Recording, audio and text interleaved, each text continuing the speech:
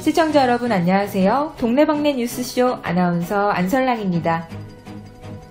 네, 이제 꽃피는 봄이 오면 새로운 사랑의 시작, 여기저기 커플들이 많이 탄생할 시기인데요.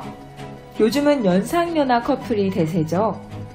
네, 그럼 연예계에서도 가장 핫한 연상연하 커플인 김원준님의 소식 바로 전해드립니다. 냉동꽃미남 가수 김원준이 11일 월요일 밤 11시 10분에 방송되는 SBS 동상이몽 시즌2 너는 내 운명의 스페셜 MC로 출연합니다. 김원준은 지난 2016년 4월 16일 14살 연하 아내와 6개월 연애 끝에 결혼했는데요.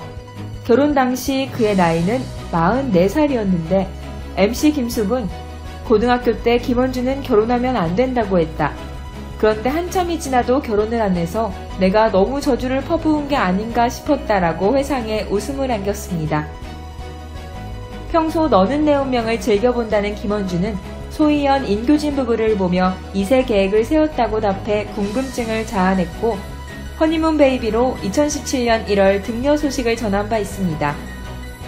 이어진 VCR에서 김원준은 소희연의 자녀 하은이 소은이를 보며 연신 귀엽다, 100% 공감하는 사람은 나밖에 없다. 저런 걸 애들이 참 좋아한다 등 애정어린 표현들을 쏟아냈는데요. 한편 라이머가 초창기 활동 당시 김원준이 운영하던 연습실에서 생활했던 사연이 공개됐습니다.